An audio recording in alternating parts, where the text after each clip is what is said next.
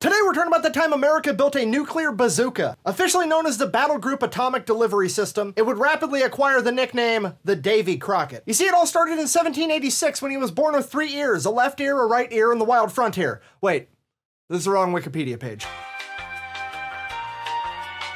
Davy Crockett nuclear device. That's better. Okay, here's the deal. Once upon a time in the Cold War, the Soviet Union had way more tanks than America did. And America didn't want to have to build a bunch of their own tanks and ship them halfway across the world to Germany. So they needed a cheaper, more economical way to defeat enemy tanks. So they did the obvious thing and took their existing anti-tank weapon, the recoilless rifle, which is essentially a large bazooka, and figured out how to shoot a nuclear bomb out of it. That nuclear bomb was the M388 tactical nuke equipped with the W54 warhead. This is probably the smallest nuclear weapon of all time. To put it into perspective, on impact, this would deliver a blast yield of approximately 20 tons of TNT. That sounds like a lot, but when you're talking about nukes, comparing it to like, say, Atomic Annie, which was 15,000 tons, it's quite a bit smaller. Lucky for us, they recorded it again. Let's go ahead and see the tape. The round was launched at H minus 17 seconds to accomplish H-hour impact on the desired ground zero at a range of 2,852 meters. The round was set for a low height of burst.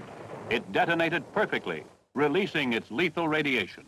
Wasn't that the most adorable nuclear explosion you've ever seen? But it's still definitely enough to take out an enemy tank, so mission accomplished, the end. I wish. So if you watched last week's video about Atomic Annie, you know that the Soviet Union and America were basically in a giant pissing match to see who could come up with the scariest nuclear weapon. Honestly, it's still a better love story than Twilight, but it's terrifying. So let's just recap that real quick. 1949, the Soviet dropped their first atomic bomb, which means America had to one-up them. So America created Atomic Annie, the world's first nuclear artillery piece, and then one year after that, the Soviet Union made their own version known as the Condensator. So America was back to square one and we had to one-up them again. And while building a giant nuke Zuka is cool, it's not definitively cooler than atomic artillery. So how do you make it cooler? Well, it's the world's smallest nuclear weapon, so there's really only one thing to do with it.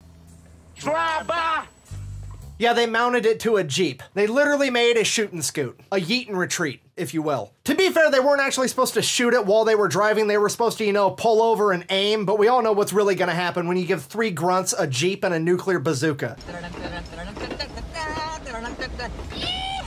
I'm trying to tell you, if you think two girls, one cup is bad, three grunts, one Jeep is way worse. Okay, all jokes aside, I need you guys to understand this is probably the closest humanity ever came to nuclear war. America gave three grunts complete discretion on when nuclear war started. I can't verify this for sure, but I'm almost positive this is why they gave it the nickname the Davy Crockett. Because according to the legend, Davy Crockett the person killed his first bear when he was three years old. I killed my pet raccoon. Why, Davy? So I could have this cool hat. The Soviet Union's mascot is a bear. That is blatantly telling the Soviet Union to fuck around and find out. Oh, and we're not just talking about like one Jeep or a couple Jeeps. They made 2,100 of these fucking things. I am thoroughly convinced the only reason this didn't start nuclear war is because the maximum effective range on the launcher is actually shorter than the minimum safe distance of the detonation of the nuclear warhead. Meaning that if you were actually close enough to accurately aim, you were also probably going to die from the nuclear fallout. Luckily, military leadership would come to their senses and pull this monstrosity from the front lines before some group of grunts got brave enough to try to shoot it from behind and outrun the blast. Get off